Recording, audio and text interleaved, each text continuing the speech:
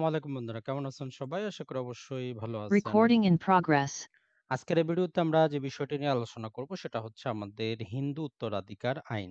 তো চলুন দেখি মোটামুটি আমরা ২০ থেকে ৩০ মিনিটের মধ্যে হিন্দু উত্তরাধিকার সংক্রান্ত মূল বিষয়গুলো আপনাদের সামনে তুলে ধরতে পারব।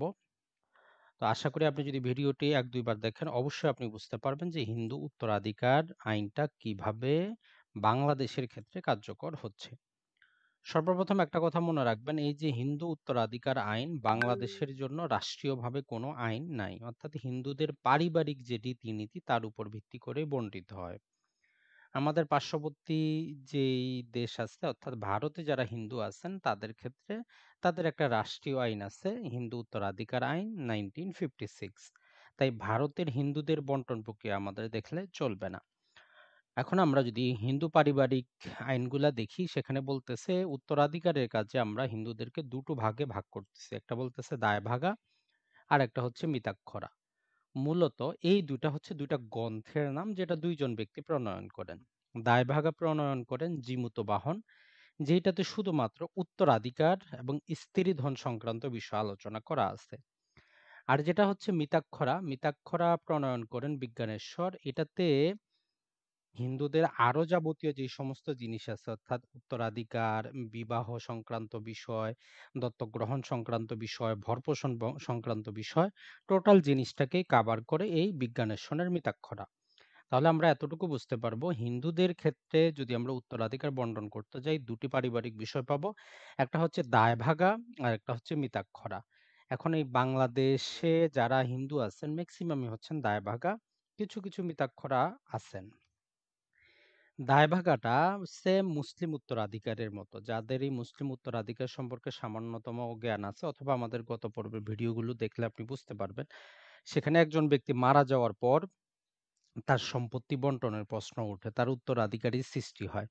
তো এই দায়ভাগা জীবিত বাহন এই মুসলিম আইন থেকেই উদ্ভূত হয়ে উনি যেই জিনিসটা করেন সেটা হচ্ছে যে ব্যক্তি মারা যাওয়ার পরে তার উত্তরাধিকারীর সৃষ্টি হবে, সাকসেসরের সৃষ্টি হবে। এই কনসেপ্টে চলে। অপরপক্ষে বিজ্ঞানেশ্বরের যে মিতাক্ষরা এটা বলে যে একজন ব্যক্তি মারা গেলে তো সৃষ্টি হবে সেটা তো পরের কথা। একটা বাচ্চার জন্মগ্রহণ করার সাথে, সাথে সে কি করে ওই সম্পত্তিতে ওই ফ্যামিলিতে সে উত্তরাধিকারী হয়ে যায়। দায়ভাগাতে ব্যক্তি মারা যাওয়ার পরেই তার উত্তরাধিকারীর সৃষ্টি হবে আর বিজ্ঞানেশ্বরে যেটা হচ্ছে সেটা হচ্ছে যে একটা ব্যক্তি বা একটা বাচ্চা জন্মগ্রহণ করার সাথে, সাথে সে উত্তরাধিকারী হকদার হবে। আর আমাদের পার্শ্ববর্তী দেশ ভারতের ক্ষেত্রে তাদের একটা পৃথক আইন আছে উনিশশো ছাপ্পান্ন সালে, সেটা হচ্ছে যে উত্তরাধিকার বা succession act nineteen fifty six এখন আমরা দেখি যে বাংলাদেশে দায়ভাগা অনুসরণ করা হয় ব্রিটিশ আমলে, কিছু আইন প্রণয়ন করা হয়েছিল, কিন্তু সমস্যা হচ্ছে আইনগুলো শুধু মিতাক্ষরাদের জন্য প্রযোজ্য ছিল, একটি বাদ দিয়ে।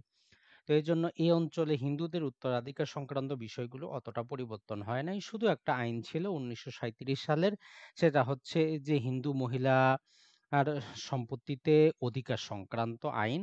এই আইনটারই কার্যকারিতা আছে। অর্থাৎ একজন হিন্দু বিধবা, একজন হিন্দু বিধবা উনি স্বামীর সম্পত্তিতে অবশ্যই উত্তরাধিকারী হবেন, এক পুত্রের সমান পাবেন। এতটুকুই বলা হচ্ছে। তাহলে আমরা এই আইনটা পাচ্ছি শুধুমাত্র।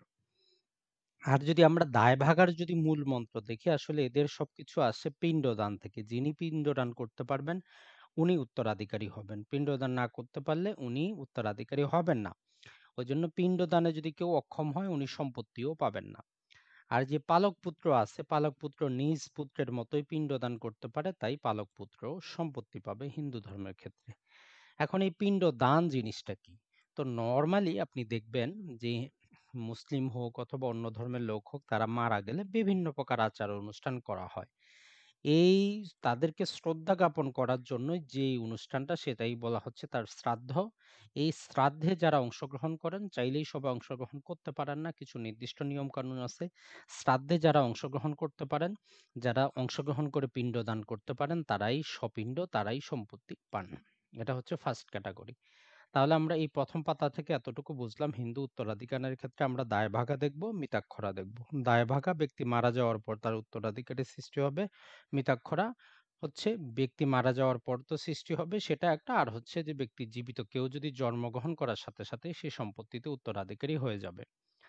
এখন আমরা দেখি যে আসলে বন্টনটা তো উত্তরাধিকার মুসলিম উত্তরাধিকারের মতো এদেরও তিনটা শ্রেণীতে এরা বিভক্ত একটা হচ্ছে যে সপিণ্ড একটা হচ্ছে সাকুল্য, একটা হচ্ছে সমানদক। তবে আপনার টেনশনের কারণ নাই, সবাই একসাথে কি হয় না, উত্তরাধিকারী হয় না। যদি সপিণ্ড থাকে, সাকুল্য বাদ যাবে। সপিণ্ড নাই, সাকুল্য নাই, তখনই এই যে সমানদক আসবে। এখন এই সপিণ্ডের সংখ্যা হচ্ছে তেপ্পান্ন জন, সাকুল্যের সংখ্যা তেত্রিশ জন, এবং এই সমানদকের সংখ্যা হচ্ছে সাতজন তাহলে মুসলিমদের মতো আমরা দেখতেছি সপিণ্ড সাকুল্য সমানদক। সপিণ্ড হচ্ছে আমাদের তিপ্পান্ন জন, সাকুল্য তেত্রিশ জন, সমানদক সাতজন তো যাই হোক, আমরা যে বিষয়টা আমাদের গুরুত্বপূর্ণ সেটা হচ্ছে সপিণ্ড সাকুল্য এবং সমানদক খুব কম আসে আসে ওরা এখন এই যে সপিণ্ডের মধ্যে যারা পিণ্ড দান করতে পারে, এদের মধ্যে পাঁচজন মহিলা আছেন। নর্মালি মহিলারা পিণ্ড দান করতে পারে না। কিন্তু এই যে পাঁচজন মহিলা এদেরকে সপিণ্ডের জন্য বলা হয়, এদের গর্ভে যে সন্তান আসে, উনি পিণ্ডদান করতে পারে। যেমন স্ত্রী, যেমন কন্যা, যেমন মাতা, যেমন পিতার মাতা, যেমন পিতার পিতার মাতা।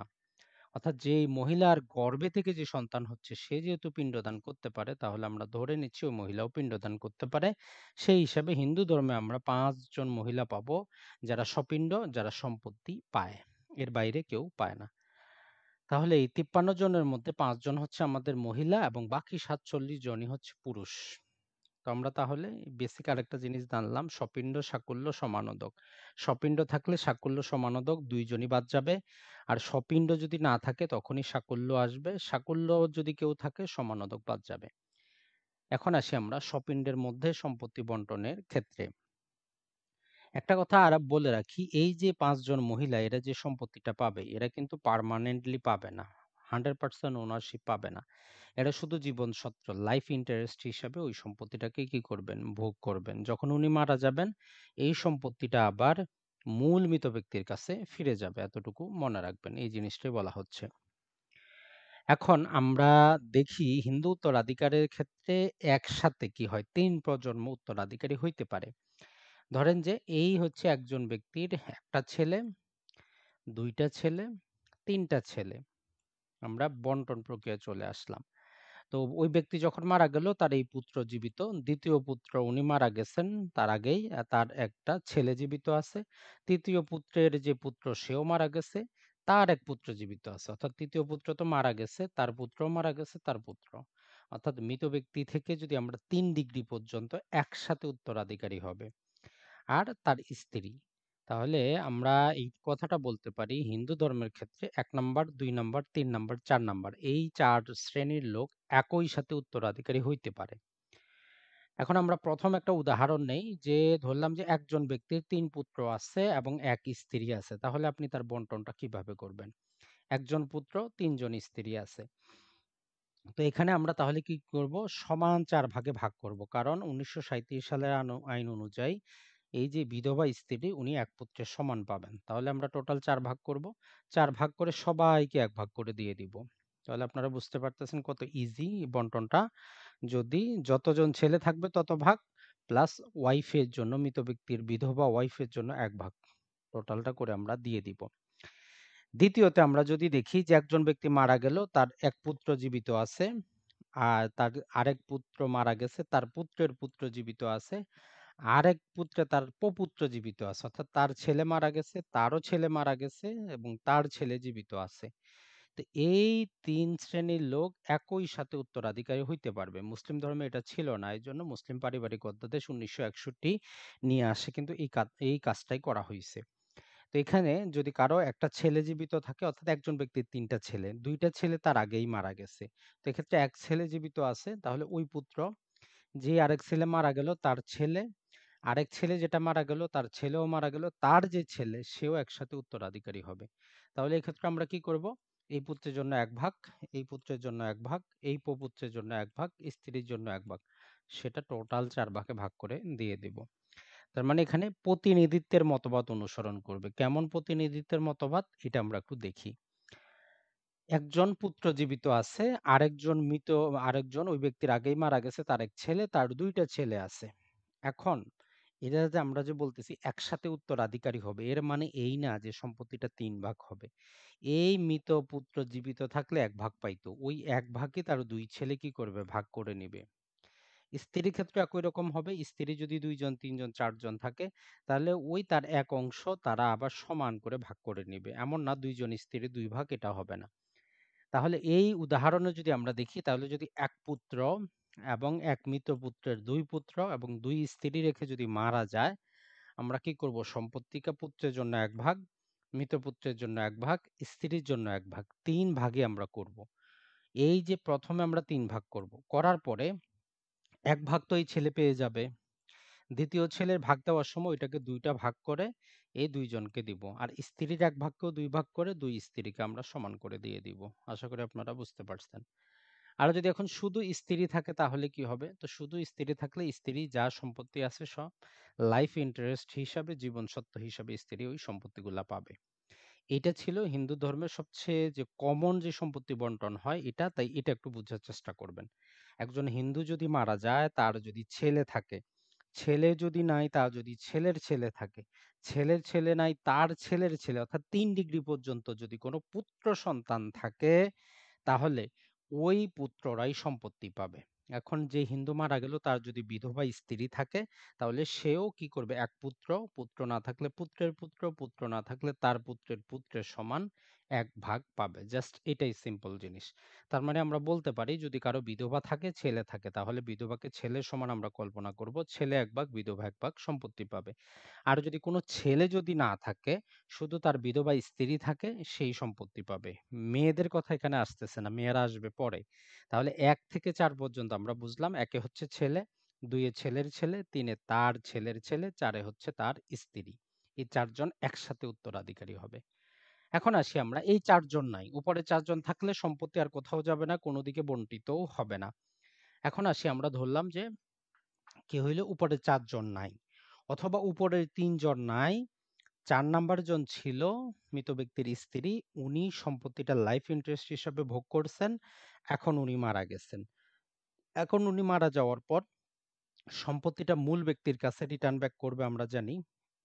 তো মূল ব্যক্তির কাছে রিটার্ন ব্যাক করার পর আমরা দেখব পাঁচ নাম্বারে এই কন্যা পাবে। তাহলে আমরা প্রথমে বুঝব এক থেকে চার নাম্বার থাকলে কন্যা পাবে না, সহজ কথা। এক থেকে চার নাম্বার কেউ থাকলে কন্যা পাবে না, সহজ কথা। আর কন্যাদের মধ্যে সবচেয়ে অগ্রাধিকার হচ্ছে অবিবাহিত কন্যা যারা আছে, কুমারী কন্যা যাদেরকে বলি, একজন যদি থাকে উনি সমস্ত সম্পত্তি পাবেন, দুইজন যদি থাকে তারা সমানভাবে নেবেন লাইফ ইন্টারেস্ট হিসেবে। এমনকি যদি তাদের বিয়েও হয়ে যায়, তাহলে উনি মারা যাওয়া পর্যন্ত উনিই ভোগ করবেন। একজন হিন্দু, দুইটা মেয়ে, একটা বিবাহিত, একটা অবিবাহিত। এখন টোটাল সম্পত্তি অবিবাহিতটা পাবে। পাওয়ার পরে যদি তার বিবাহ হয়ে যায়, সে যতদিন পর্যন্ত মারা না যাচ্ছে, উনি একাই ভোগ করবে। আরেক অন্য মেয়ে কিন্তু পাবে না। যখন উনি মারা যাবে, তখন তার অন্য যে বোন আছে, সে পাবে, তাছাড়া হবে না। তাহলে মারা গেলে বিবাহিত কন্যা পাবে এবং পুত্রবতী যার যদি কোনো কন্যা থাকে, সেও পাবে। তাহলে অবিবাহিত কন্যা, কুমারী কন্যা, উনি সর্বপ্রথম দাবিদার উনি পাবেন, উনি যতদিন জীবিত আছেন উনি ভোগ করবেন। উনি ভোগ করার পরে তার অন্য যে বিবাহিত কন্যারা আছে, তারা যতদিন জীবিত থাকবে ততদিন তারা খাবে। তারপরে এইভাবে যদি দেখা যায় যে, এরা মারা যাওয়ার পর এদের কারও কোনো ছেলে সন্তান আছে, মেয়েদের কোনো ছেলে সন্তান আছে, এক ঘরে যদি হয় সে পাবে, দুই ঘরে হইলে তারা পাবে। অর্থাৎ যতজন যদি প্রতিটা মেয়ের ঘরেই সন্তান থাকে, ছেলে সন্তান তবে প্রতিটা ছেলে এখানে মাথাপিছু মতবাদ অনুযায়ী পাবে। সিম্পল আমরা বুঝি, যদি এ এর একটা মেয়ে বি একটা মেয়ে সি একটা মেয়ে, তিনটা মেয়ে এ এর হচ্ছে দুইটা ছেলে বি এর হচ্ছে একটা ছেলে সি এর হচ্ছে তিনটা ছেলে। তাহলে সম্পত্তিটা তিন ভাগ না হয়, তিন, দুই, পাঁচ আর ছয় ভাগ হয়, তারা সমান করে ছয় জনে ভাগ করে নিবে। কিন্তু পূর্বে ছিল আমাদের প্রতিনিধিত্বের মতবাদ, আর এইখানে আসবে মাথাপিছু মতবাদ। তাহলে একাধিক মেয়ের যে ছেলে থাকলে মাথাপিছুভাবে তারা ভাগ করে নেবেন।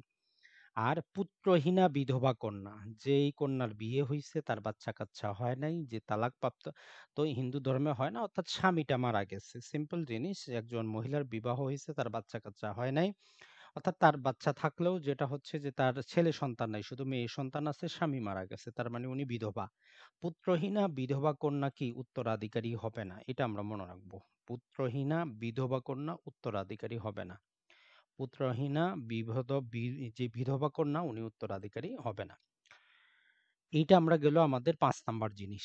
তাহলে এক থেকে চার একসাথে পড়ব, পাঁচ নাম্বারটা আমরা আলাদা পড়ব। এখন পাঁচ নাম্বারে ধরলাম যে তার মেয়েরা যারা ছিল তারা সবাই মারা গেছে। তখন আসবে কি এই মেয়ের ছেলে ৬ নাম্বারে মেয়ের ছেলে যখন ওই মৃত ব্যক্তির সব কন্যা যখন মারা যাবে তখনই মেয়ের ছেলে সম্পত্তি পাবে। মৃত ব্যক্তির একজন যদি কন্যাও জীবিত থাকে, মেয়ের ছেলে কোনো মেয়ের ছেলেই সে সম্পত্তি পাবে না যতদিন পর্যন্ত মৃত ব্যক্তির মেয়ে জীবিত আছে।